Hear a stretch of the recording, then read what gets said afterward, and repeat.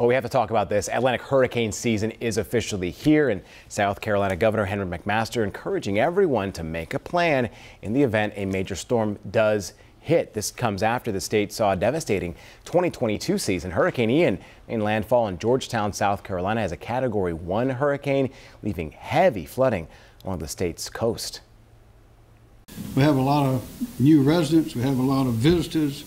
Be a lot of people will be visiting this area, the Tri-County area, uh, during those times, and some of them have never seen a hurricane before or a big storm.